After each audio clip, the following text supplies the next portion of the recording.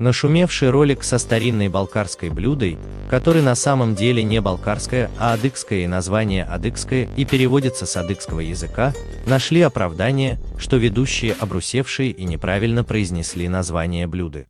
И выложили, что это действительно балкарское блюдо кьёй это овца, джабхак это лопатка. Мы так поняли блюдо из овечьей лопатки должно быть. Даже на мне косыночка смотрится вполне гармонично, но руки у меня не очень приспособлены э, готовке. А вот, есть такое блюдо, одно очень э, хорошее, балкарское, лучше его название скажешь ты.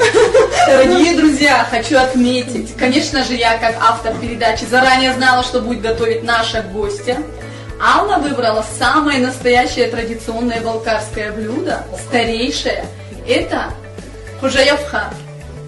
Вот такое для меня неподъемное название, но зато, но зато подъемный рецепт. А, я должна...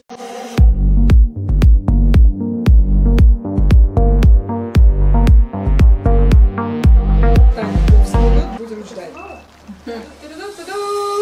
Мы снова с вами. Да. А, значит, вот этот агрегат, Ага. не миниатюрный, далеко в моей руке, а, он очень нам выгоден, потому что он как раз-таки подразумевает порцию Да. одну на человека. И вот такие у нас красивые пиалы, которые мы будем... То есть то одно яйцо, которое мы разбили и больше не трогали, должно не растечься и поместиться полностью э, Вот сюда. да, и И сюда. тарелочку. Вот сюда, потом сюда, потом вот сюда. Все очень просто.